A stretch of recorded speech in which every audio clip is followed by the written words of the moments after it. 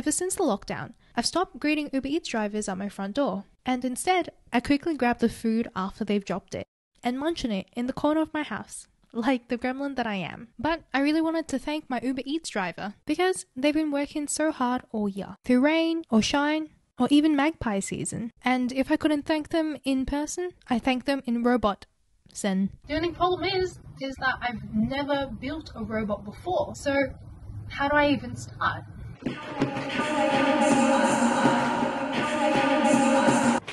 I started by getting an electronics kit for beginners and also created a rough sketch for my robot. The robot works by turning around on a motor and then it sings the thank you song to the Uber Eats driver. I figured a good place to start would be trying to make the motor spin. But no matter how many online instructions I followed, the motor just wouldn't spin. I was confused by all these new components and scared by this new alien code and just so overwhelmed.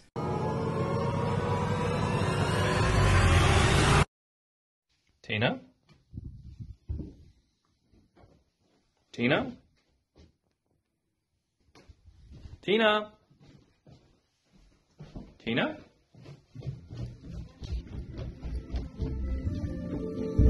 Teena? Teena?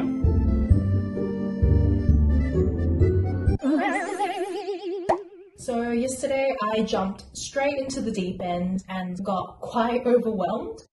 We'll get back to the video in a moment. If you're liking this video so far, please consider giving it a thumbs up. It lets me know that people besides my best friend and two family members watch my videos. Alright, let's get back. Today I'm just gonna go back to basics and learn how to power up my first LED. I followed some online tutorials, but no matter what I did, I couldn't get my LED to turn on. And suddenly, that all too familiar feeling of dread returned. However, this time I wouldn't run away. I refused to let my fear control me, so I kept pushing on. And on the fifth try, I used a different component. And this happened. And I was over the moon because I created this with my own bare hands. Which is why there's cause for a celebration dance.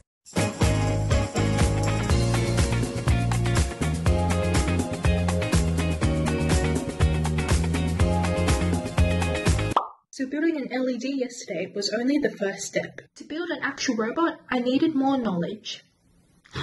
I followed a YouTube playlist that goes through the basics of electronics, taught by a guy called Top Tech Boy. He's super wholesome, and he kind of reminds me of Bob Ross. And I have to admit, the next few weeks were not easy. I had great days, but I also had days where I literally spent hours just on one problem, only to find that I plugged one thing in the wrong way. But with every problem that I solved, I felt more and more confident, and my doubts slowly went away. And finally, after three weeks and 68 video tutorials, I was now ready to build my first robot.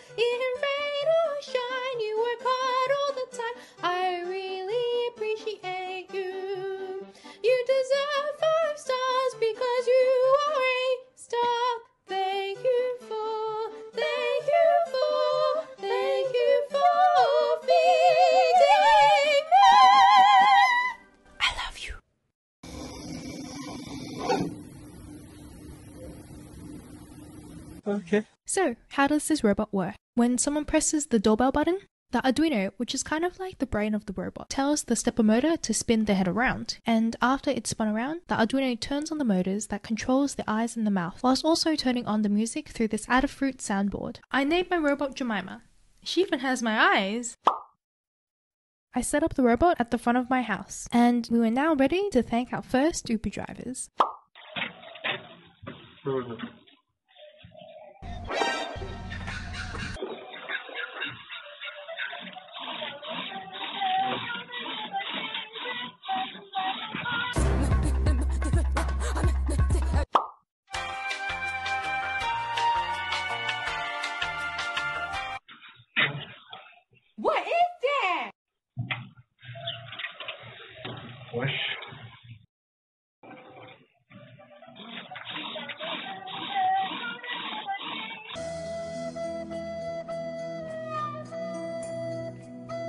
Despite Jemima giving her performance her all, none of the Uber drivers wanted to stay and listen. And some Uber drivers even tried to put food on top of her. So I thought of a new strategy. I'm going to ask the Uber driver to please stay for the song.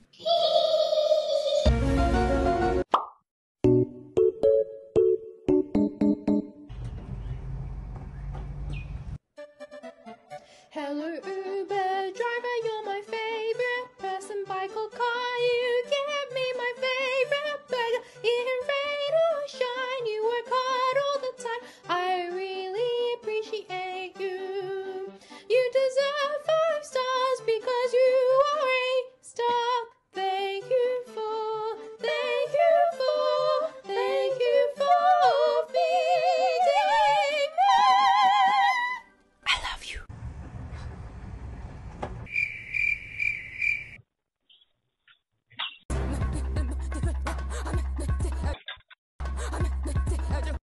I've learned so much on this journey. I solved lots of problems, learned to use scary tools, and I faced my own self doubts. I've always had low self confidence and found it really hard to believe in myself. So, as I was building a robot to appreciate others, I slowly learned to appreciate myself along the way as well. It kind of felt like as I was wiring up my robot, I was also rewiring my own brain. And now that I look back on my initial fears, they seem a lot smaller. But maybe it's because I'm a lot bigger than I originally expected.